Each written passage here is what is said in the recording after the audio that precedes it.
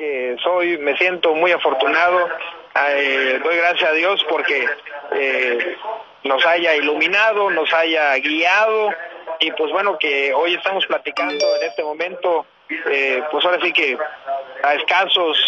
eh, minutos que ocurriera este incidente estamos platicando. Y pues bueno pues como te digo no yo retomando mis actividades y nada más el mensaje dejarlo a todos quienes me escuchan a todos mis paisanos cozumeleños eh, un servidor se encuentra bien las personas que me acompañan también el capitán y el copiloto también. Y bueno pues yo estoy de nuevo en mis responsabilidades y en mis obligaciones